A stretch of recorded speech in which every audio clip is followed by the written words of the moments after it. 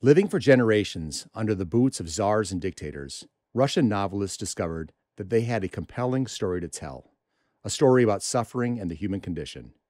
Here to talk to us about why these stories still matter is Professor Gary Saul-Morson. Professor Morson and Suffering in Russian Literature on the Evangelization and Culture podcast now. My name is Tod Worner, and this is the Evangelization and Culture podcast from Word on Fire. Gary Saul-Morson is a Lawrence B. Dumas Professor of the Arts and Humanities and Professor of Slavic Languages and Literatures at Northwestern University. He teaches undergraduate courses on the novels of Dostoevsky and Tolstoy and graduate courses on single Russian novels like Anna Karenina, War and Peace, The Brothers Karamazov, and The Idiot. Beyond literary theory, Gary has a keen understanding of ideology and human nature and has written brilliantly on the minds of ideologues and dissidents. Gary is the author of numerous books, including the forthcoming Wonder Confronts Certainty Russian Writers on the Timeless Questions and Why Their Answers Matter, and has written for countless newspapers and periodicals, including the Wall Street Journal, the New York Review of Books, the New Criterion, Commentary, First Things, and our very own Evangelization and Culture. Professor Gary Saul-Morson, welcome. Thank you for having me. Segment 1 Origins. In a collection of essays exploring the mind of Russian philosophy and literary critic Mikhail Bakhtin, Gary, you wrote the following The quote, great perhaps, end quote. Rabelais' words evoke the central value of Mikhail Bakhtin's life and work openness to potential for surprise.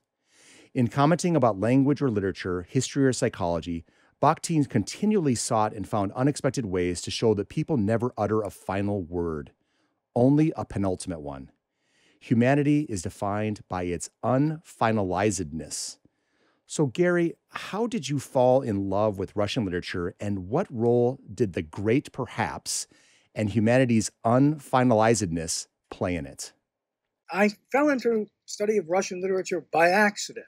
I was going to be a physicist at one point, and back in back in those days, um, people had the idea that you had to know Russian to be a physicist. This was after the launch of Sputnik, and you know, they seemed to dominate science. They didn't, but they seemed to. I, so I took Russian then, and when my interest changed to um, first philosophy, I discovered that's what I really cared about in physics was the view of the world, and then the history of ideas, and finally to how people live ideas, how it matters in their lives, which is what great novels are about. And the greatest novels about that happen to be Russian, and I could already read Russian, so I kind of fell into it by accident. Now, your other your other question was, remind me. Uh, you know, what role did did I think Rabelais was talking about the great perhaps and about unfinalizedness and how you know how do how does that notion that the exploration of Russian literature oftentimes deals with uh, ta- uh, refers to final answers but sometimes doesn't always arrive at them uh, how, how much did that have an impact on your attraction to Russian literature? Oh that that's that's a great question. It, it's everything about my attraction to Russian literature because the central argument of the Russian tradition for the past 200 years has concerned whether we can and do know the answer to all the fundamental questions of life, of science, even. Um, ideologues, and among them the Bolsheviks, maintained they had the answer to everything.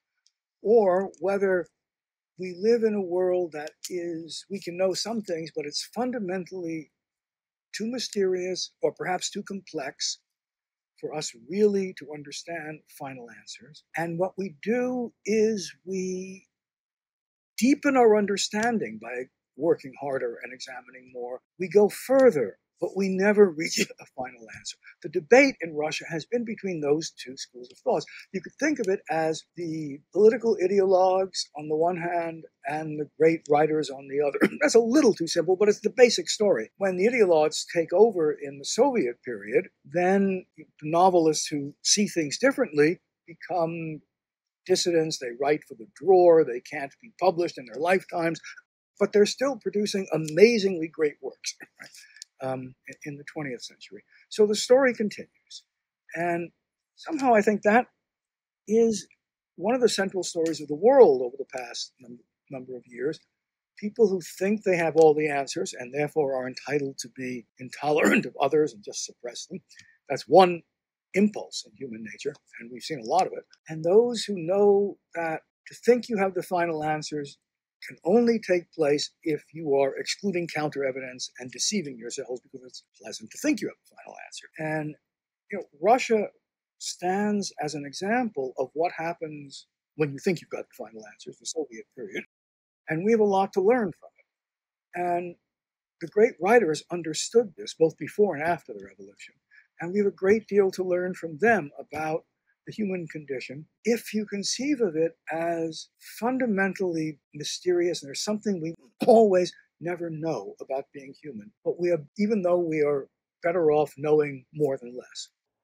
You know and on that note uh, it's so well said. It seems that there are some people that that uh, uh, recognize that we will never know and it, it draws them forward in great wonder and curiosity. And there's others that live with great degrees of frustration with that and and they they, they want to seize that that um, unknowing and control it craft it mold it to their own purposes. Um, it seems that that may be where the divergence between those who who um, struggle for ideological control and those who who surrender to the unknown of the world kind of separate. Is, is that fair to say? Yes yes i think so. I mean you know, uh, some of it comes with um, our understanding of what, what science is. When I was interested in physics, what fascinated me was there will always be more to learn about the world. And science is a wonderful way of doing. It. And you know, in science, you don't prove something by suppressing counter evidence, telling other people they can't speak. You know, you have to do an experiment and see how it actually works. Suppressing won't won't do it. But other people, I, in recent years, I, you know, you see people using the word, the word science to simply shut down discussion. If you don't believe me, you're anti-science. When in fact, m- much of what is being claimed is not not science at all. It's pseudoscience, and very often is a misunderstanding of how you know science works. Usually is. It's sort of like you know the 14th century, I suppose. If you wanted to claim no one can challenge your beliefs, you claim to have a direct revelation from God. Now you claim to be speaking in the name of science. But it's very, even for scientists to do this, scientists can speak pseudoscience when they're not talking about their own specific discipline or their own discoveries. They very often mistake their philosophy, which they think the science implies, for the science itself. And it never is the same thing. You know, it's interesting because as a, as a practicing physician, I can tell you that one thing we never quite uh, exorcise from the, the practice of our craft is the human condition. So every study that's being done brings with it um, biases and foibles and and assumptions and presumptions and so on and so forth. Uh, so so so all of us when we're doing our journal club and looking at the the you know, the randomized double blind placebo controlled trials with hard endpoints, um, we have to look at them and say where is where are the confounding variables in here? Where's the human condition in here? And um, you you you put your finger on that, and it seems like science is a wonderful tool. It's just it's a lousy it's a lousy god. It's a lousy ideology, and it definitely definitely um, has its own fallibility. Yes, and you know, the Soviets claimed that their ideology was scientific. They called it scientific socialism. And they meant it very seriously, so that, for example, if relativity or quantum theory or genetics, all of which at some point or other seemed to contradict official ideology, Marxism Leninism as they called it, then it was the genetics and the quantum theory that had to go. They had to be wrong. And the reasoning was, was was the world has a process built into it, into the very nature of matter. And that process led to evolution, and evolution led to historical development through societies as a strict deterministic scientific process, ultimately leads deterministically to communism, with the Communist Party being the voice of that process, which means the Communist Party is the voice of nature itself. And therefore, it cannot be wrong. They don't think of themselves as, you know, human beings deciding on things. They thought of themselves, if you're talking about the Politburo, as the voice of the universe, of nature itself, history. And therefore, physics contradicted it. Physics had to be physics had to be wrong. That's that, that's the degree of certainty they claim. And of course, all this is pseudoscience. Um, and if you, you know, they thought of science, and many people who speak of science today think of it as a body of fixed dogma. The whole point of science is that it's never fixed. It's always changing. You know, I guess, you know, certain religious dogmas might be fixed, but the nature of science is different, right? It's always changing, right? There are frontiers where things are more, recent knowledge is less certain and therefore more subject to change, and things in the interior, which could, I suppose, change the way Newton's laws eventually did, But one of the signs, you know, someone who doesn't understand science is they treat it all as equally certain, an equally certain block of dogma. So the latest discoveries are as certain as, you know, that that's a sheer sign you're dealing with, with someone who's speaking pseudoscience. A segment two, suffering in Russian literature. In a recent essay for the New Criterion on Russian writer Vsevolod Garshin, you quoted philosopher Peter Lavrov saying, quote, mankind has paid dearly so that a few intellectuals sitting in their studies could discuss its progress, end quote. Uh, Professor Morson, what does Peter Lavrov mean when he says this? Peter Lavrov, actually, pronounce it, is, um, was the leading philosopher of what was called the populist school at the time. And the central idea of this group of people was that culture itself, not the particular type of culture, as you know, the Frenchmen always debate about this view of culture or that view of culture. But in Russia, where they tend to take things to the extreme, it was culture and civilization itself which were morally questionable, regardless of how they were constructed. And so the question was if the life of the mind, of intellectuals, of art, of science, depends on exploiting the labor of peasants, as was mm. most of the Russian population at the time, then it is immoral itself. You know, it is itself morally questionable. That's kind of what he meant by it. And you see in the you know the tendency you know, of Russian culture to take all questions to their extreme point, which is, you know, has a plus and a minus to it. You know, the the um, minus is it leads to extreme ideologies of, politics, right? As in as in communism. But the plus is that it allows you to see the implications of certain positions in a way that, you know, in England you don't see them because they don't they don't take if it goes, goes too far, it's just not common sense. It's not polite in England. You know, there's a passage I love in um, George Eliot's novel Middlemarch where you know the narrator says, "But you know, it's one of the good things about human beings in England." That no matter what radical ideas they may profess, they never push it so far that it interferes with their dinner. in Russia, that's not true. That's right. Their dinner has definitely been upended in Russia plenty of times and it's and it's funny because uh, you know Ch- I think it's Chesterton that talks about the notion of progress that that we and and, and Lavrov. Thank you for correcting my pronunciation of, of him. Um, Chesterton, I think, refers to the notion that progress needs to have be, needs to rely on a cast iron set of uh, kind of a creed from which you are springing. You know, what does progress mean? You need to have a, a, a, a, an origin and a destination. Progress in and of itself is is just saying movement, and and it's interesting that again in some of these utopian I, I, uh, ideologies or these utopian societies. Um, you can progress towards hell. Uh, you can you can you can you can progress towards the gulag, pro- progress towards the concentration camp, and so on. So um, it's it's it's fascinating to think in how innocuous it might be to have effectively uh, intellectuals eh, dining, sharing drinks, and and designing horrible ideas that are going to affect massive amounts of people. So it's it's a fascinating topic, and you've written on this so well in so many different venues. Uh, one question I want to ask you, uh, uh, Gary, is this: so you've been a friend and a contributor at Word on Fire for several years now, and in our spring issue of Evangelization and Culture, you begin your essay "Suffering in Russian Literature" with a quote from Svetlana Alexievich, who who's accepting the, the Nobel Prize for Literature. Now, now Svetlana Alexievich is Ukrainian by birth. She resided in Belarus, where for years she wrote critically about the Soviet Union, and she noted, "quote Suffering is our capital, our national resource, not oil or gas, but suffering. It is the only thing we are able to produce consistently, but great books are piled at our feet." So I want to ask you, what is it about Russian literature or Eastern European literature that so keenly understands suffering? Yeah, um, it's really interesting. I'm not quite sure why that's the case, but it's essential feature of the great Russian writers to explore this. She was really speaking, you know, for the whole tradition, you know, when she said that. And sure.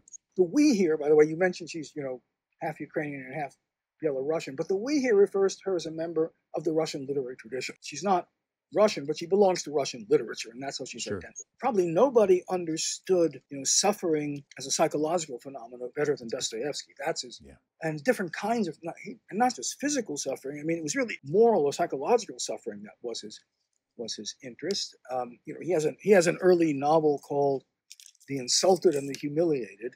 He understood so well the feeling of being utterly humiliated, or yeah. being regarded as nothing or less nothing. That feeling, you know, or the on the other hand, the feeling of wanting to uh, a feeling you are the superior people of the universe, and therefore you get to tell other people you know, what to do.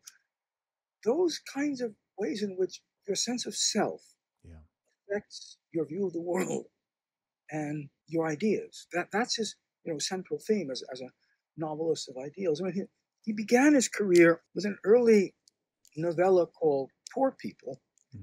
and it was not a study of poverty as a sociologist or an economist would have done it. What he was interested in was the way in which poverty deforms the personality. Mm, So you begin to internalize the denigrating view of yourself that others have and treat yourself that way from within.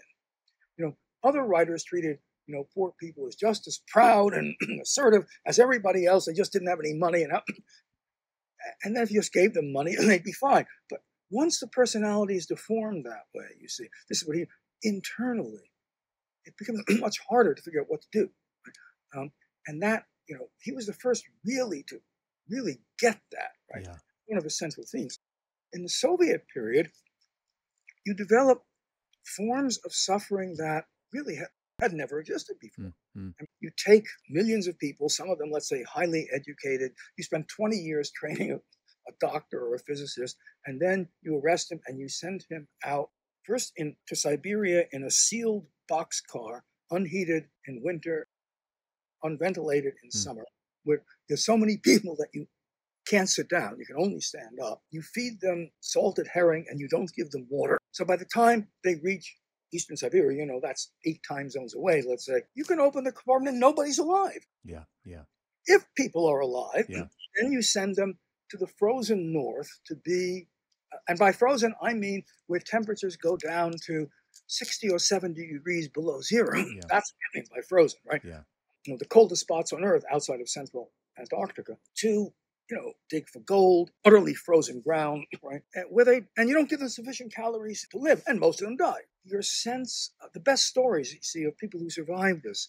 Um, a writer named Varlam Shalamov, wonderful stories here, where what he's describing is how your sense of yourself as a human being gradually shrinks away.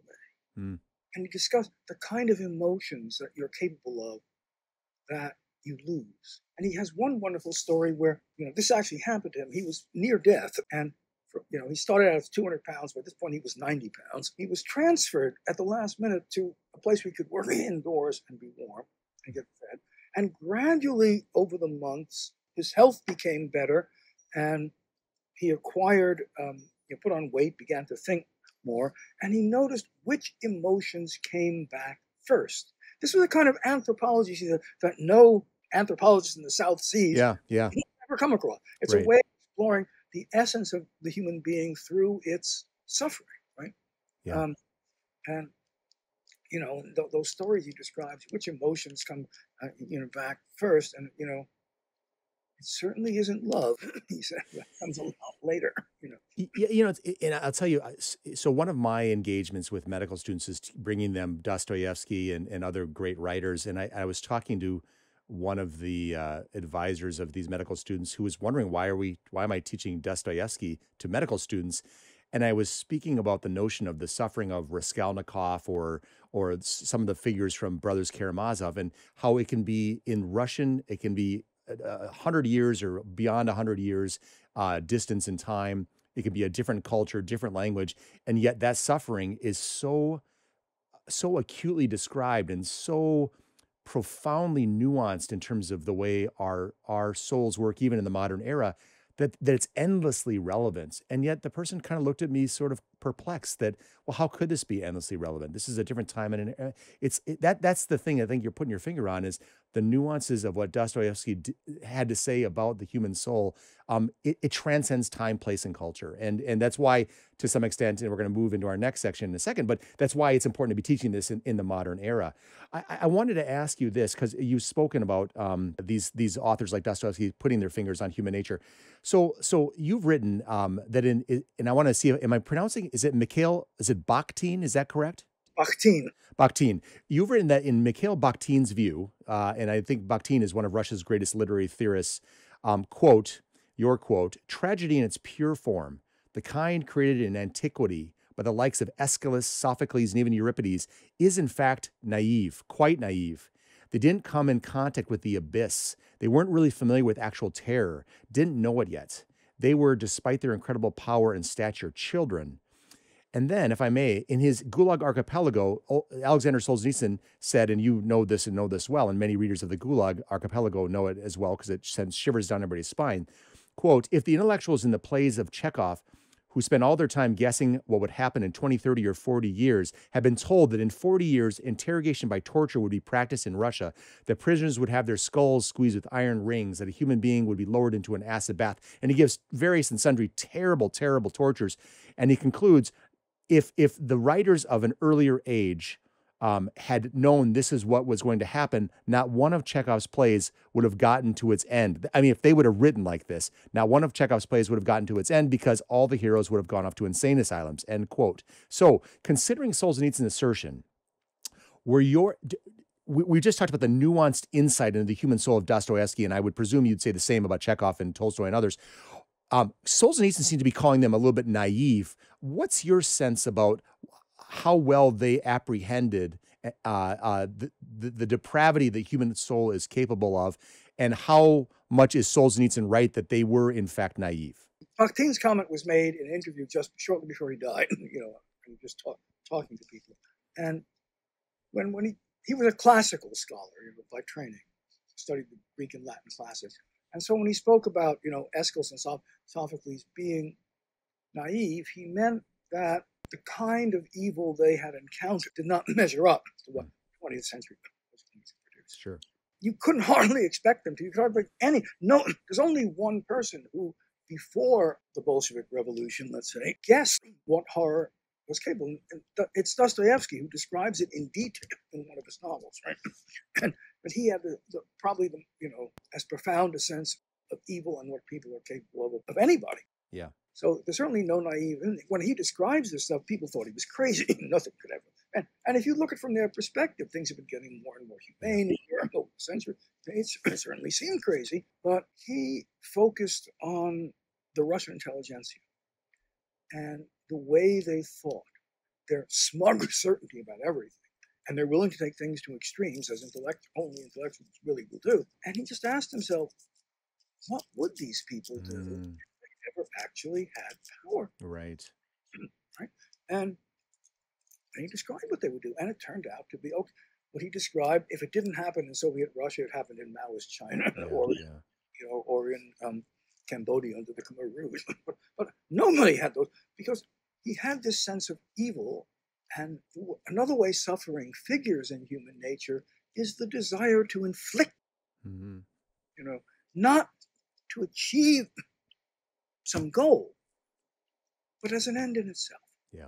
The joy of domination and absolute mm. power is, is also a part of human nature, right? I mean, I, I suppose some of it you could, some of these ideas you could find in the Marquis de Sade writing mm-hmm, in the mm-hmm.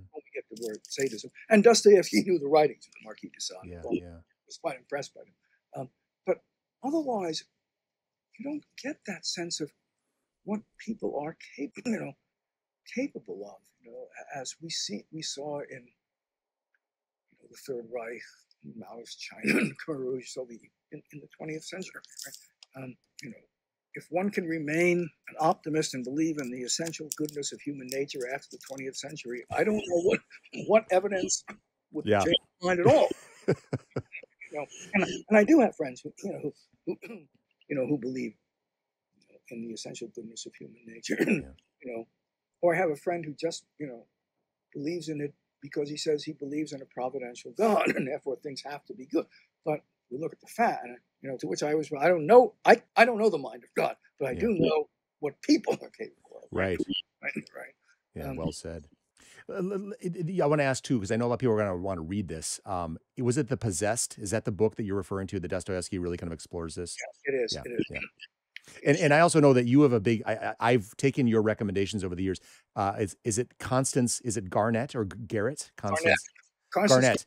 If, if you're gonna if you're recommend editions of Dostoevsky's works, um, and I think Tolstoy's and others, it's Constance uh, Garnett. Is that is that fair to say? For most most of them, it's either Garnett herself or somebody has done some light revisions of Garnett. Sure. Um, those are usually the best of almost you know of Dostoevsky and Tolstoy, with the um, exception of War and Peace, you know, mm-hmm.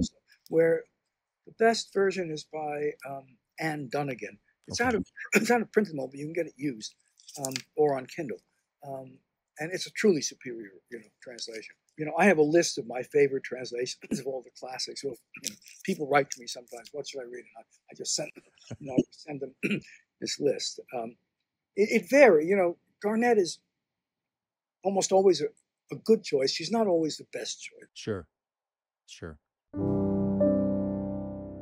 Hi, I'm Tod Worner, managing editor of Evangelization and Culture, the journal of the Word on Fire Institute. Word on Fire is a global evangelical community that exists to provide our members with the resources they need to proclaim Christ to a secular culture.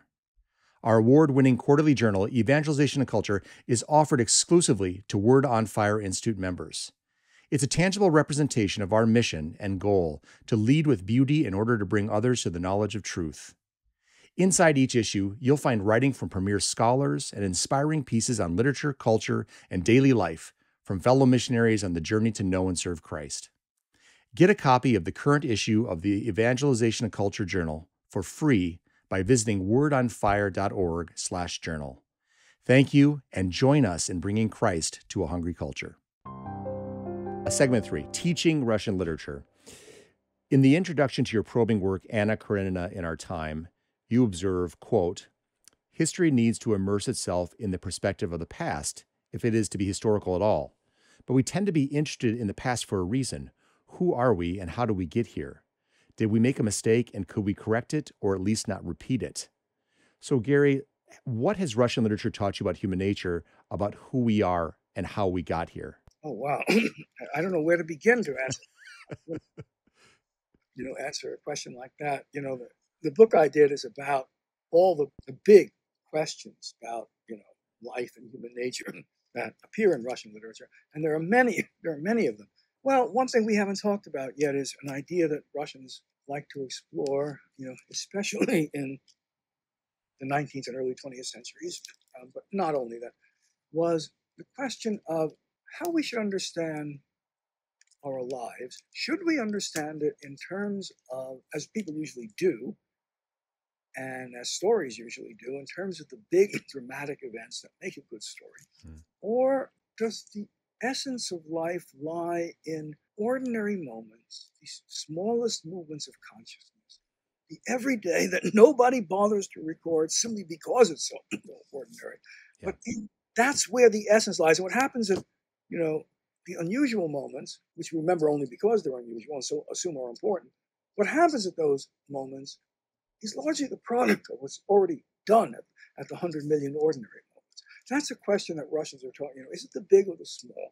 And, you know, the, Tolstoy was the great proponent of the idea of what he called the tiny, tiny alterations of consciousness, which he was an expert at describing. Yeah. The value of ordinary, everyday, undramatic caring and goodness the danger of all romantic views, you know, the high drama of life, you know, whether you conceive of love that way or history or politics, those are always da- dangerous. And you have to really understand life in the ordinary, in the prosaic. Yeah. Um, you know, his Chekhov, who deeply admired Tolstoy and knew him well, um, picked that up, and in his stories and plays, he's probably the best short story writer mm. ever lived in a story that he shows how that works out. Yeah. You know, really, really brilliantly. And if they are right, or to the extent they're right, we need to learn to pay attention to the things we usually overlook. Yeah. that, well, that's one of the, I think, you know, lessons you can get from the Russian tradition. You know, and, and when you, uh, you, it always reminds me of what you've written that I loved. Uh, I think it was Tolstoy talking about. Is it Bryullov? Uh, the artist. Yeah, yeah who who who went and altered someone's painting just a brushstroke or two and and the student effectively says you know you made a, such a minor change but it, in fact you've transformed it and he says art is where the little bit begins or something to that effect um, yeah the student says you only changed it a tiny tiny bit or Russian. You only barely, barely changed it, right? And um, Bryullov replies, art begins where that tiny bit begins. Amen. And then Tolstoy says, that saying is strikingly true, not only of art, but of all of life. True life is lived not where great dramatic changes take place, but where the tiny, tiniest alterations of consciousness are going and, and, this and this speaks a little bit to the sensibility of what this podcast is dedicated to is the notion of of being intentional in our daily lives spiritually and otherwise. And i think so many times people are are assessing the the status of their lives based on their resume as opposed to their eulogy and what they anticipate or hope their eulogy would be. And again the eulogy is dominated by notions that are the small presences um, the kindnesses the acts of grace as opposed to uh, this job change this catastrophe etc um, reading Dostoevsky and Tolstoy and others based on your recommendations over time and your your uh, your your discussions of them in your in your essays has helped me to really uh, identify just how much they are in touch with the little bit that goes into living and i think it's it's absolutely profound. It's absolutely profound. I wanted to i wanted to ask you uh, when, when you're teaching students now I know that your class is one of the most popular classes at Northwestern. It's been it's been just you, have been award winning, and people really really have just enjoyed all that you had to teach. But you're teaching Russian literature. And that's not necessarily the, the the beginning of a selling point for many of the modern world. What are you doing? How are you expressing this uh, or teaching this to students to get them engaged in why this matters in the modern age?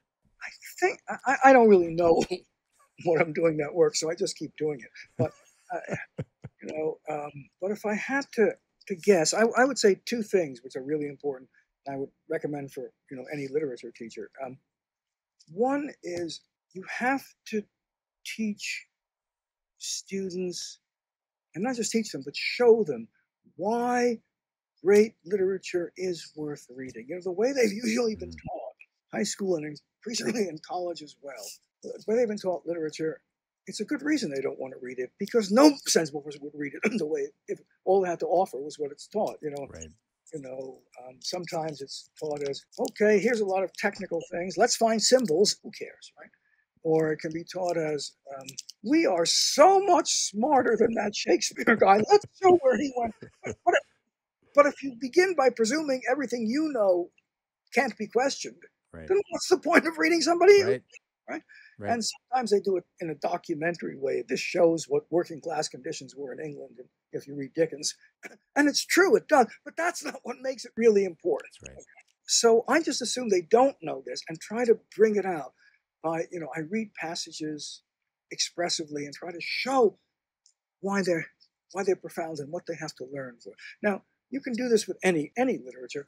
Russian literature is ex- particularly explicit about raising questions that concern everybody. Like, you know, Anna Karenina is about the nature of love and how you should understand love if you're going to live a rich and happy life. Mm-hmm. No student who doesn't care about that. Yeah, right? exactly. Exactly.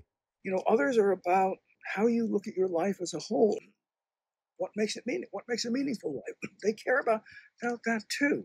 Um, you know, you, a lot of these questions are asked, you know, in other literatures, but usually not as explicitly. There are a few exceptions. So, and the exceptions I also like to teach, you know, and, yeah. let's say in English literature. Well, let's say, you know, if you read, you know, a, a novelist I particularly love, Jane Austen, these questions are all there, but they're not explicit. You have to sort of tease them out. Okay? It's like, you know, in England and France, to make those questions too explicit is kind of impolite. You know? Yeah. Right. But not in, not in Russia, right? Russians pride themselves. Even characters in Dostoevsky even talk about this. What makes us Russians is that we sit around and talk about the timeless questions. Mm. Two people will meet in a train carriage who've never seen each other before, will never meet again. And what do they talk about?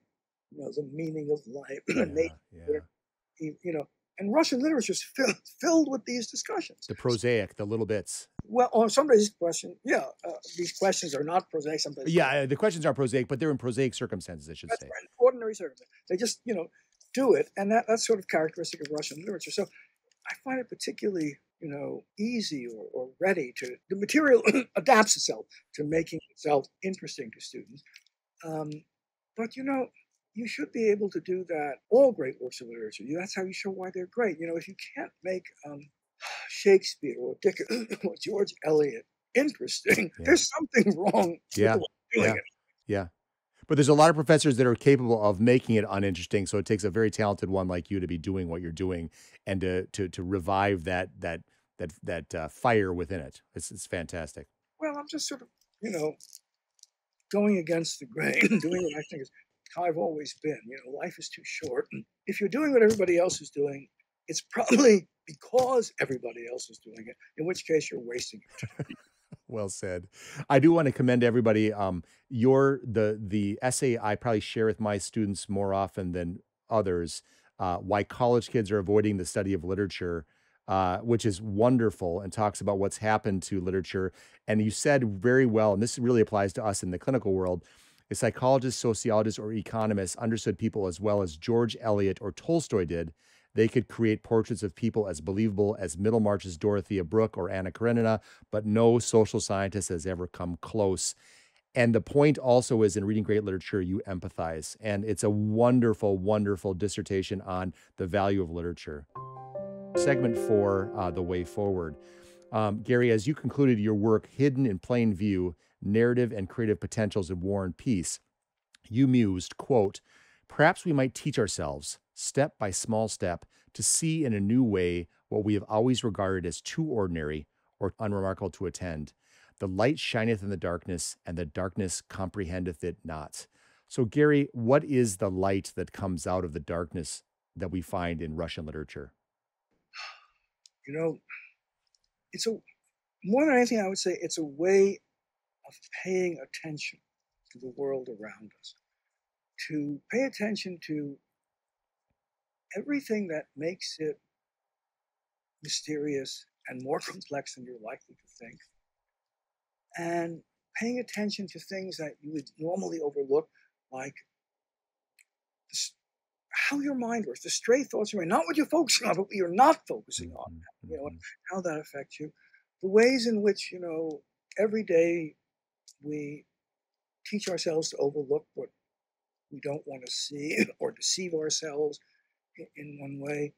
Um, if we could learn to pay attention to all, all those things, we would understand life more deeply. I think that's what, what the Russian, great Russian writers are, are telling us.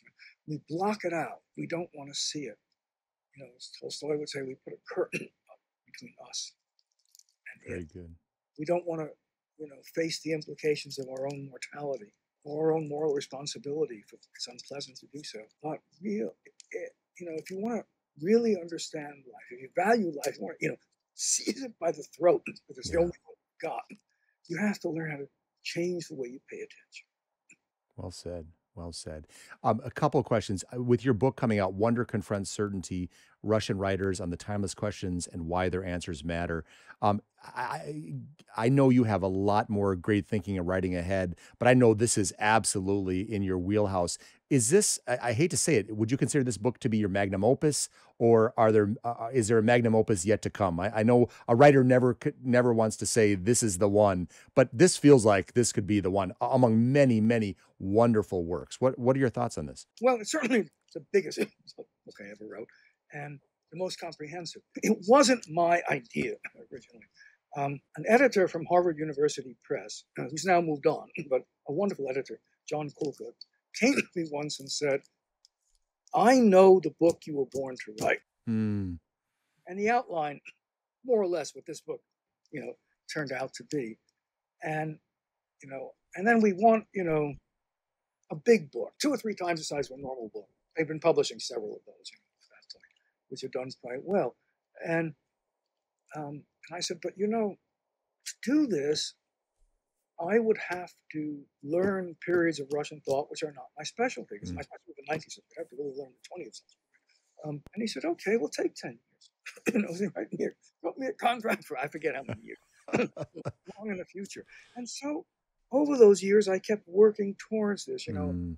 if I someone asked me to write an article on something, I would say, yeah, I'll pick that. That's a 20th century writer. I'll do that. You know, Um, and over, you know, it took me a very long. So in that sense, the magnum opus because it took me longer. I had to Mm. read more. I had to learn more, and then I had to synthesize everything. um, um, you know, but I ho- I hope I still do something else that's that's you know that's So do we. So do all of us who are reading you over and over again. So no, we're thrilled about. We want you to keep producing. I want you to also, as we wind down here or, or end here, um, what do you recommend those who are un uh, unfamiliar or untraveled in Russian literature? A couple of books you'd say these are these are uh, you can't can't be missed. I know I know the canon, but just from your mouth, it'll make more of an impression to people. What what are the two or three that everybody should read? Oh, that's a good question. Well, um, you know, from the, the classic period, I would say read um, the brothers Karamazov and Anna Karenina. Mhm. And from, you know, the, the 20th century, it's hard, I would say, um, a wonderful book by Mikhail Bulgakov, The Master and Margarita, Mm, and uh, Vasily Grossman's book, Life and Fate. Yeah. You know, they're all deep and brilliant. They're all capable of changing the way you see the world. They changed mine each time I read one. wonderful, wonderful. Last question, because my daughter asked me to ask you this: of all the books you've written, which is your favorite? Well, that's a good question. Um, I guess the one I I'm proudest of for its content is the one called Narrative and Freedom, Mm. and the one I'm I think is the, the best written and the most amusing is um, one called The Words of Others, which is Mm. not about Russian literature at all. It's about how we use famous quotations and what role they play in shaping culture. You know, famous last words, Mm, great misses, mm. you know, um, you know, epitaphs, things, you know, famous statements like, you know, I have nothing to offer but blood, sweat, and tears. Yeah, You know, yeah. how, all how will those things shape our consciousness? And it, I, I, I think I conveyed that. My writing was particularly good at conveying what makes makes that interesting, and it's fun. So it's, but it's not good with Russian literature. That's wonderful. I That's just love wonderful. Well, Professor Gary Saul Morson, professor, writer, and sage in an uncertain age, thank you so much for taking the time. I, I really hope to bring you back again and again. It's always a pleasure to catch up with you, but this is our, our first official visit together. So it's an honor and a pleasure. Thank you. Thanks for asking such wonderful questions and for having me. Well, that was a great conversation to be having with Gary Saul Morson on uh, suffering and literature. I want to offer you a reflection. Dostoevsky and Chekhov, Tolstoy and Turgenev, these names all sound so unbearably heavy and impossibly distant. They evoke images of fevered, bearded men in rags, hirsute Orthodox priests in monasteries, and metal bedecked, chesty generals in snow filled valleys. The imposing names of Rodion Raskolnikov and Anna Karenina, Natasha Rostov, and Alyosha Karamazov are, are only outpaced by the mysterious depths of their characters. Their lives and trials deal with little more than, well, everything. What is the value of one life? What is the meaning of love? What does true femininity look like? Where is God in a world filled with evil? In carriages and hovels, military outposts, and train stations, the Russian literary greats find the prosaic shot through with the profound, the darkness pierced through by light everlasting. The demand that we reckon not only with their trials and conundrums, but with ourselves. To borrow Lionel Trilling's verdict on the seemingly harmless avuncular poet Robert Frost, the Russian novelists are terrifying. But why? Well, because they paint a portrait as we are, instead of airbrushing us as we would like to be. Like the creations of William Shakespeare and Charles Dickens, Jane Austen and Dante Alighieri, we see ourselves in the garish light of day. Beneath our self-protecting, self-absolving layers reside the shift, the shifter and the shuffler, the coward and the snob. But this revelation is never meant to invite a hopeless nihilism. Nihilism is drenched in meaninglessness, and the Russian novelists write exclusively because our lives are so very meaningful. In fact, our lives are so meaningful that Dostoevsky commands an utter fidelity to truth. As you might recall in the Brothers Karamazov, Father Zosima says, quote, above all, don't lie to yourself. The man who lies to himself and listens to his own lie comes to such a point that he cannot distinguish the truth within him or around him, and so loses respect for himself and others. And, ha- and having no respect, he ceases to love. And in order to distract himself without love, he gives, he gives way to passions and coarse pleasures and sinks to the bestiality in his vices. All this comes from lying to other men and to himself. End quote. In lying to ourselves, we lose respect for ourselves. In losing respect for ourselves, we lose respect for others. And in losing respect for others, we cease to love. In ceasing to love, we become prey to our worst instincts. The Russian novelists begin with a contested state of man's soul and, and propel us to the embattled territory of human society. And if the Russians have taught us anything, it is that the clever devil drawing out our very souls of perdition is more than pleased, through our brokenness, to drag entire societies into the abyss should the opportunity arise. And so we must read these difficult, confounding, wondrous, illuminating works of Russian literature, if only to know ourselves, to wrestle with our liabilities, and to nurture our virtues. And we must share them with our children and our children's children. The greatest Russian literature may seem from long ago and far away, but its lessons are made keenly manifest here and now. And that, after all, is the thing about human nature. Outside our flagging will and the grace of God, it just doesn't change much.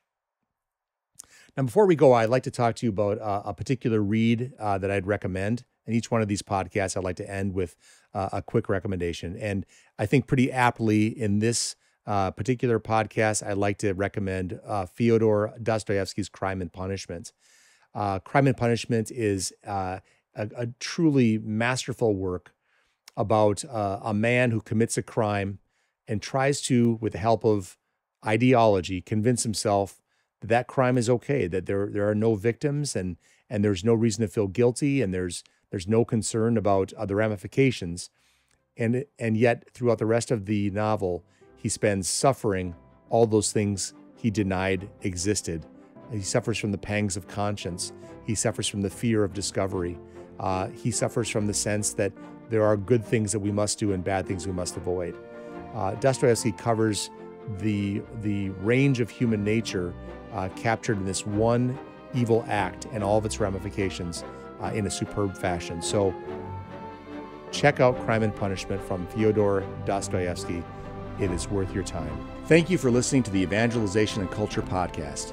Please be sure to subscribe to Word on Fire's YouTube channel, leave a review, and share with your friends. And don't forget to get a free copy of Word on Fire's award-winning journal, Evangelization and Culture, at wordonfire.org/journal. Until next time, I'm Tod Worner. Please keep proclaiming Christ to a hungry culture.